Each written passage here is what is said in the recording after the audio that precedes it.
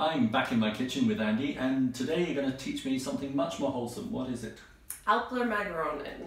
And that's. It's like the Swiss version of mac and cheese, but much more delicious. Okay, one of my favourite dishes because in the winter it's really comforting and warming, and in the summer when you've been hiking and you find a restaurant on top of the mountain, they usually serve great after macaroni. That's true. Have you made it before? I've made a really basic version with pre-cooked ingredients. Aha! This version is much easier. It all goes in one pot. It's super easy. Okay, then let's start. So first you want to chop three peeled potatoes into pretty small cubes. So now you want to grate 250 grams of cheese. Today I'm using half Gruyere, half Sbrinz. You can use any kind of hard cheese or a mix of them, Emmentaler, Appenzeller, whatever your heart desires. So now we've moved to the stove. You want to just cover your chopped potatoes with water. Put it over high heat, add a little salt, and let that cook for about five minutes. So now we add 300 grams of pasta. You can use Älplermagronen or any kind of macaroni.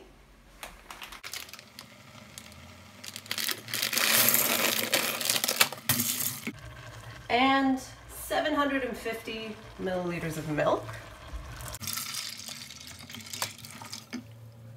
And a stock cube or a little bit of stock powder if you have it. About a teaspoon. You're gonna bring that up to a boil and let it cook for about 10 minutes or until the pasta is cooked through. So now I'm gonna add the cheese. You wanna give it a good stir.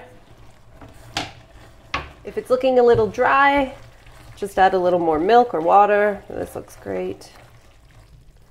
Then you can season it with a little salt, pepper, and nutmeg.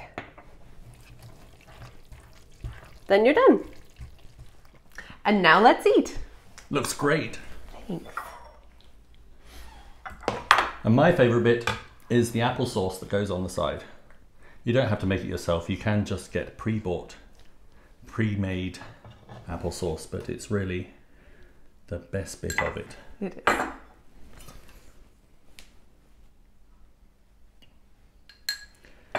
Gota. Goetta?